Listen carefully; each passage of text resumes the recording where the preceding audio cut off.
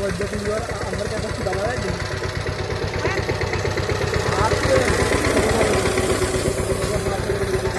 छोड़ दिया